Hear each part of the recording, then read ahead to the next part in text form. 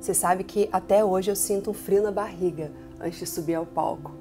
Mas eu estava assistindo uma entrevista da Fernanda Montenegro e ela disse o seguinte, que depois de toda a bagagem, todo o período de experiência que ela tem, ainda assim ela também sente frio na barriga.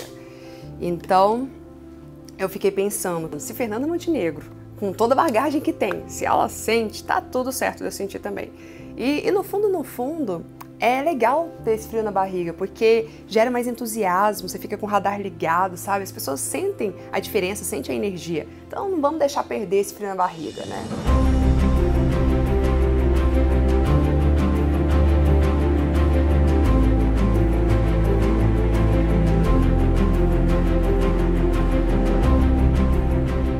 Coisa que eu sempre faço antes de entrar no palco é me conectar com o porquê eu estou ali, sabe? Lembrar do impacto que a gente gera na vida das pessoas, de, dos feedbacks, dos abraços, do olhar, das lágrimas. É, é muito nobre o que a gente faz. Palestrar é uma missão.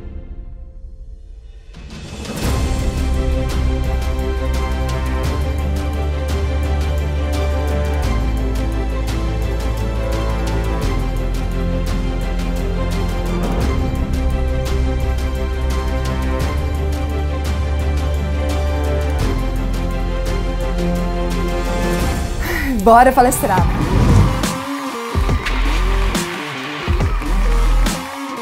É, eu sempre lembro que não é sobre mim, mas é sobre a transformação na vida das pessoas que estarão me ouvindo ali.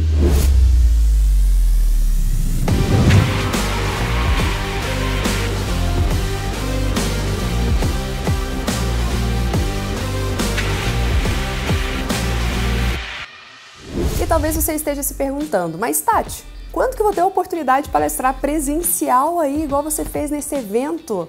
Sim, agora é o momento de preparação, porque uma hora vai voltar esse presencial. Mas enquanto isso, a gente tem que entender que uma live é uma palestra, um vídeo é uma palestra. Um relatório que você vai apresentar na empresa pode ser uma palestra.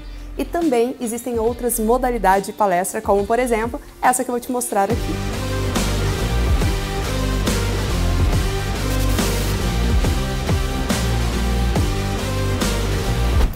Experimentar viver tudo isso? Então participe da nossa Masterclass Palestrante Memorável.